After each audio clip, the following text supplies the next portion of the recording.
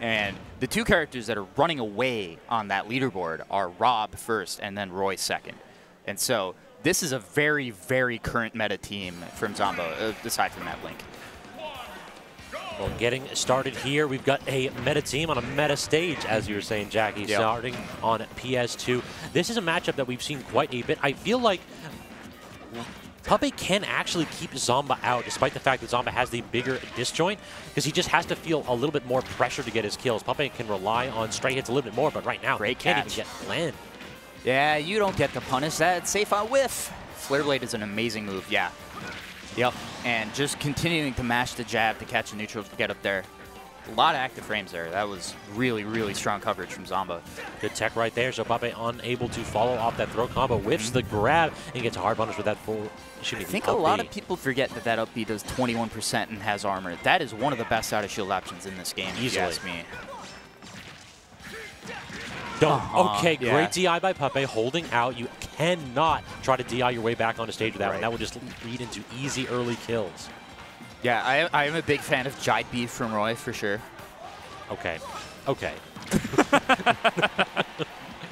I'll let you have that one. Yeah, shout out to my boy Thor. All right, all right, jab back here. Yeah, I've seen that one a few times. Exactly. This Roy is looking outstanding right here. And we talked about Zomba's Raw being his best character, perhaps, but this Roy is pushing Puppeh to the limit. This is wild because Puppeh was untouchable against uh, against Mercury just like what 20 minutes ago. Like, yeah, he- he's only had like one set break. Mm-hmm. and this Pokemon trainer is actually already on its last legs. Like 69 is definitely kill percent against Roy. Are you kidding me? all right, there's the up smash. All right, all right, Puppeh. So it's not enough of that. directly into Squirtle right now, trying to go ahead and live a little bit on the limit because Link, a character known for having a ton of kill power, Puppeh, if he gets a couple good hits, he can rack on a ton of damage, but he just can't be touched right now. Yeah, very much another do not touch my shield character. Oh, the slow fall, yeah. just daring you. Mm-hmm. You know you want to. You know you yeah, want to challenge this, it. come on. Oh, it always catches me off guard the way that the switch animation comes to the front of the screen because there's no actual trainer on, on screen here. All right, Puppet bringing this back. We got a game. We got a game. That linked at 40%. Like Yeah. just Puppeh almost untouched. Uh-oh. Tries for the tether break, but Great catch, he's going to have the Flare Blitz, blitz yeah. back. Oh, that air dodge was so good. I thought he was just gonna grab ledge and be safe. Zomba, Zomba having none of that. No, no, no, no. We're not. We're not being safe here. That was so good. What a whiff punish. Safety first? No. Aggression first. What a phenomenal response. Goes off stage, gets the forward air. Uh huh. That it's just Up because here I definitely thought he was grabbing ledge. So did I, but no, he even gets perfect positioning right there. If he was off by just a little bit, he would have been clipped by that last lingering hitbox on Flare Blitz. Yeah, but that's great understanding of risk reward. He's at zero. Who cares? Mm-hmm. Who cares? Brilliant. Phenomenal recognition. That Roy seemed to be the difference maker here. I would not be surprised if Puppeh leads off trainer. Ah, yeah, maybe just trying to stem the stem the stem the tide here, and it looks like he did. I think. I always forget which order it is. yeah, yeah. All right, yeah. Good call. Good call. So he's got a little bit of additional Oh, no frame data to try to combat this. Oh, but yeah, okay. he's dead. Doesn't even need the What a- flame data. what a Just needs that neutral B. A zero to death by Puppeh to start it off. Huh, I get it. Yeah, and so the ordering, again, like, I do think that it makes quite a bit of difference here. And as far as I know, there's not really any established rules for when you have to declare your order. We kind of just do it on the screen. What? Oh, oh no, Zomba. All right, so I think we're going to be seeing a game three here. I'm not going to, I mean, I'm not going to count this Rob out. This Rob is, is cracked, but, okay. But yeah, it has to go through three of Puppeh's characters, including his main here in PT. Mm-hmm. And, and I do think that, like, just the, the combo, it, it, Rob is just too comboable for, for Puppet to drop this, I think. Again, like, what, what is that, that red thing doing coming at me? Tries to go ahead get and get that real back forward smash that Puppeh is known to favor, but Zomba just ever so slightly outspacing him. And Oh, okay. Even get it there. I think he had to switch. He had to switch and use Uh-huh. Charizard's armor to Sure. get through that. Sure, I, I didn't think that uh, Ivysaur was going to pop up that little bit and pop into the, the side B, so that's great awareness from Zomba. Already getting bullied a bit though. Uh, this looks a lot like game one. yeah, taking about 60% untouched. Yeah, that should be a punish. Grab. Sure. Yeah, respecting the mash on Puppeh, which I think is correct. yeah, exactly. He's already shown us a couple times. Oh, that could have been up air.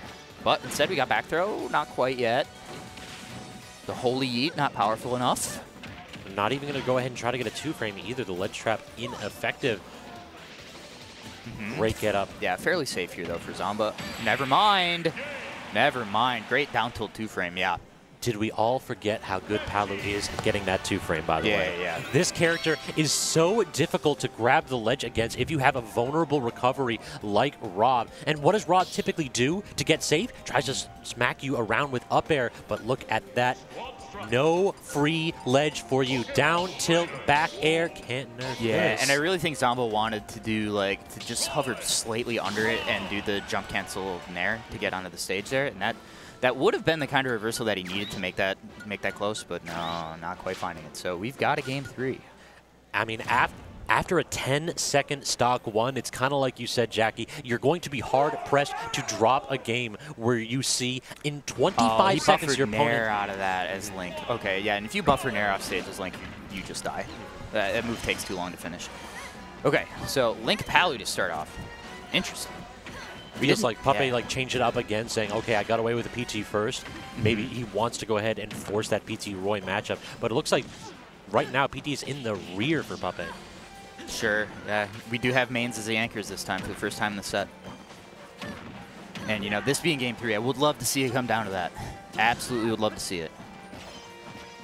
Okay. Down throw back here again. B and B force him off stage. Can we get the two frame? No, Uh -huh, great aggressive up B, and he gets the kill for it. You got to be careful doing that against Link. That, that is one of the first things you learn if you play a lot of Elite Smash, man. oh, that boomerang. Incredible extension. Uh, Zomba trying to end it all right here, but this should be, okay, it's just forward smash. Yeah, at 100% didn't look like Puppeh was going to be able to land that killing blow. Instead, trying to just get some stage control out of it. It was a really good job by Zomba of crossing up, forcing him to hit him to the left. Uh-huh, you're safe. I love the grab from Zomba there. Using like these uncharged projectiles just to force Puppeh to respect his space, but now we're in that awkward spot where Roy, fresh stock, tons of kill power. Puppeh needs to play perfectly, but look at the strings, already 70% on Zomba. Okay, good timing on the upbeat, but man, you got you got to stem this tide right now. Okay, the back air clipping the shield, so safe. Good follow-up. Puppeh playing on reaction. You love to see it. Yeah, his Wolf has been looking phenomenal. This is a character that felt like he was Mm. relatively silent the first couple games, too. Certainly. And it did so well against Mercury.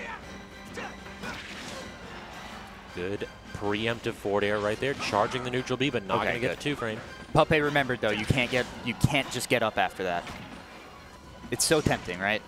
Yeah, you always think, oh, I can whiff punish that. No, absolutely not. Or at least I can get up shield, right? But no, you'll actually catch your vulnerable frame. Okay, Zomba with the upbeat gets the lead.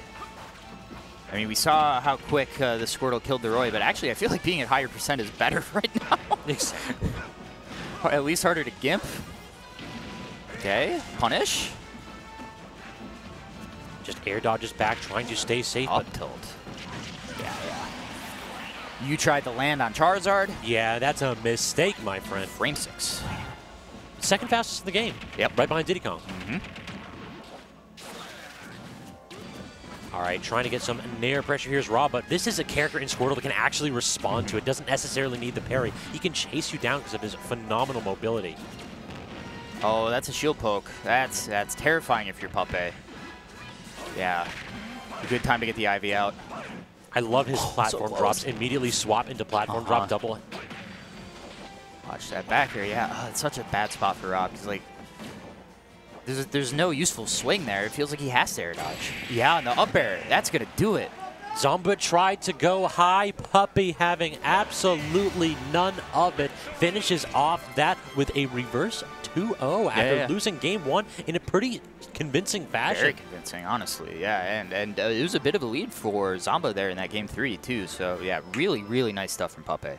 It felt like the Roy was not nearly as impactful game 3 Mm-hmm. Like he was kind of, I don't want to say he was carried by because Rob was putting in a ton of work, but game one and even game two, that Roy still was applying tons of pressure. Yeah. Game two, he just had the unfortunate gimp.